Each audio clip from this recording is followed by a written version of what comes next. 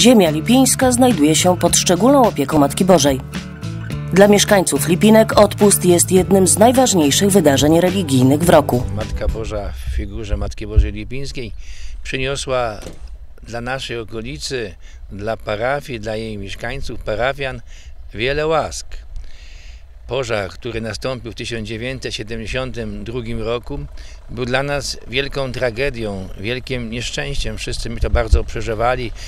Później za łaskę uważam wielką pomysł obecnego księdza proboszcza, kustoszy naszego sanktuarium Wacława Śliwy, który wpadł na wspaniały pomysł, aby Kościół przenieść do centrum, wśród szkół, urzędów, wśród instytucji, znalazł się ten Kościół podwyższeniu i do niego została przeniesiona figura, która jak pamiętamy koronowana w 1980 roku.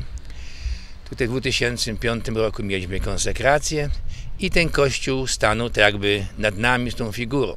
17 sierpnia w 36. rocznicę koronacji cudownej figury Matki Bożej Lipińskiej sumę odpustową odprawił ksiądz biskup Kazimierz Górny z Rzeszowa. 17 sierpnia 1980 roku miała miejsce ta podniosła uroczystość.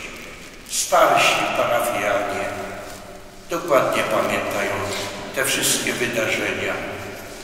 Pamiętają, że ksiądz Jan Patrzyk, wasz rodak, bardzo wiele przyczynił się do przygotowania koronacji, zwłaszcza swoimi kazaniami i szerzeniem kultu Matki Bożej.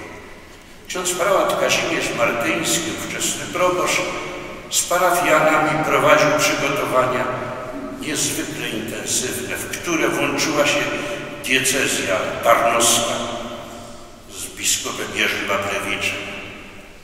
Ogromna rzesza wiernych z całej diecezji i z diecezji przemyskiej, sąsiednich dekanatów.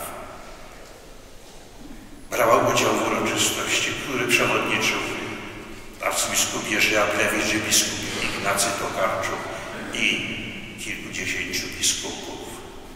Wiemy też, że w tym trudnym czasie odbudowy i przygotowań do koronacji Matka Najświętsza dokonywała wiele cudownych uzdrowień, a często przychodziła także z pomocą w ratowaniu z nałogu pijaństwa.